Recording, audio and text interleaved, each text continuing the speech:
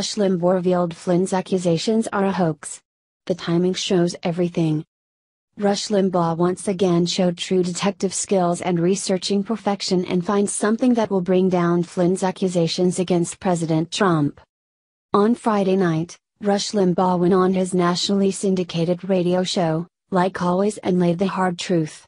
There is a gap in the timing of the disturbing announcement from the former National Security Advisor Michael Flynn. This indicates that Flynn is, in fact, lying in front of the FBI. Limbaugh said and is probably right, that the timing of Flynn's announcement is not random at all. It was planned to draw the attention away from passage of the tax bill among other items in the news, including the Matt Lauer firing from NBC and the not guilty verdict in the Kate Steinle murder trial. So there you have it, they're all excited, Limbaugh said. Mueller did the deed on the right day. Mueller did the deed to sweep the tax cut deal off the table and to tick everybody off.